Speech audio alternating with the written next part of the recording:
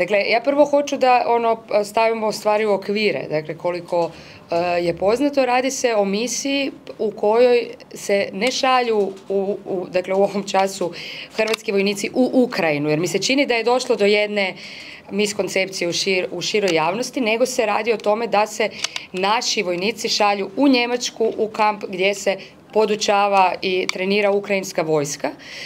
E, što je također, i to je važno reći, jedan korak kojeg Hrvatska do sada u svom pomaganju Ukrajini nije napravila. Dakle, to je jedan korak dalje od toga. E, naš klub i stranka dakle, stoji na istim pozicijama na kojima smo stajali i do sada. Agresija na Ukrajinu se mora zaustaviti i mi moramo pomoći maksimalno da e, do toga dođe u humanitarnoj pomoći, u vojnoj opremi i tako dalje. Ali Hrvatska spada u e, zemlje NATO-a koje s jedne strane nemaju tu vrstu vojne moći kao mnoge druge članice, a s druge strane ima, nažalost, tu vrstu iskustava koje također nemaju druge članice i koje mi smatramo čitavo vrijeme, od kad se uopće počelo razgovarati o tome, trebamo koristiti, nuditi i na taj način primarno pomagati Ukrajini. Govorim o e, tome da, da mi imamo iskustvo razminiravanja, imamo iskustvo procesuiranja ratnih zločinja. Dakle, mi smo rijetka zemlja od NATO članica koja je tako nedavno prošla rat i koja na tom polju može ponuditi puno. Što se tiče ove druge vrste pomoći, smatram da su tu naši resursi izrazito recimo skromni u odnosu na druge i da se tu ne bismo trebali gurati, da tako kažem. Znači vi da ste predsjednica, vi biste postupili kao predsjednik Milanović? Ja mislim da je problem e, ovdje između ostalo, dakle ponavljam, to je naša pozicija od početka i cijelo vrijeme smo govorili da Hrvatska treba nuditi ovu vrstu pomoći i da pače onda kada nas je Plenković optuživao da smo protiv Ukrajine, mi smo tada nudili u Saboru rješenje koje je uključivalo upravo razminiravanje, pomoć oko ratnih, e, oko ratnih zločina, zarobljenika i tako dalje. Pri čemu da, su, da je HDZ tada glasao za to, imao bi dvotrećinsku većinu.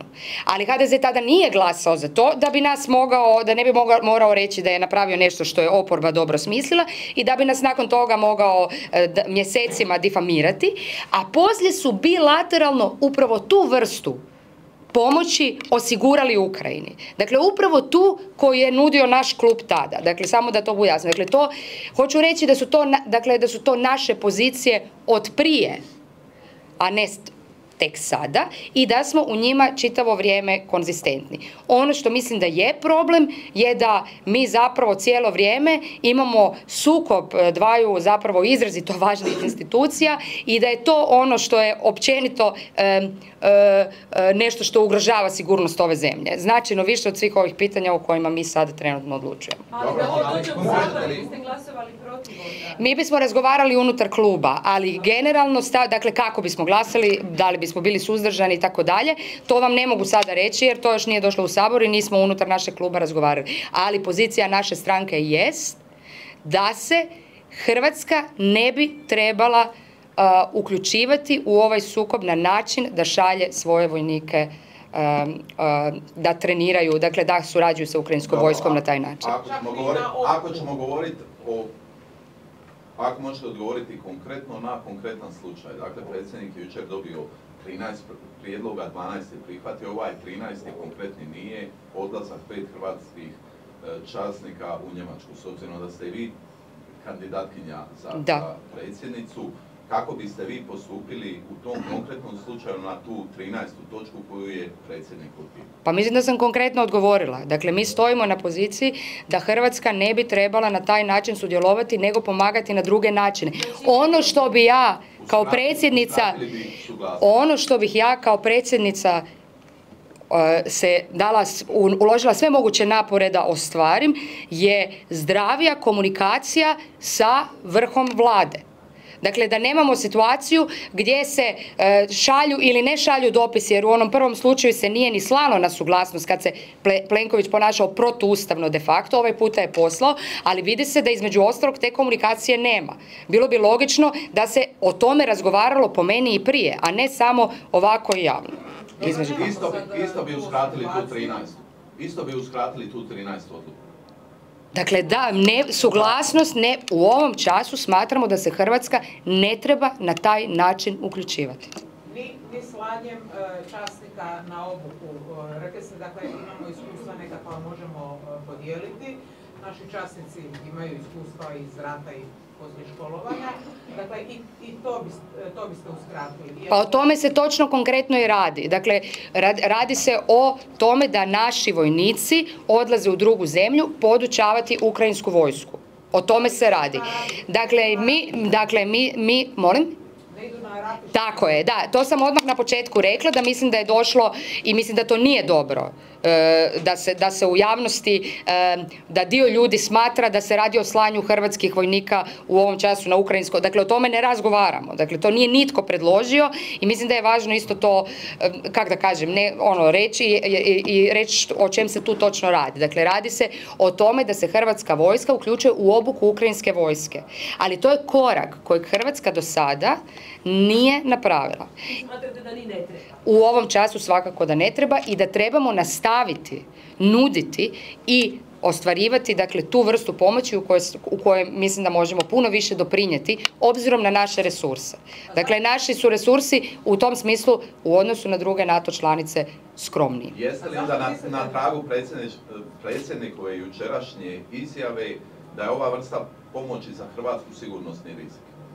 Mislim da se da u, da da Hrvatska na taj način u ovom času ne treba sudjelovati jer ima zemalja koje to mogu bolje pokriti. I ponavljam, mislim da je tu predsjednik Milanović na tragu onoga što naša stranka konzistentno zastupa od kada je počeo sukob u Ukrajini. Dakle, konzistentno zastupamo istu poziciju.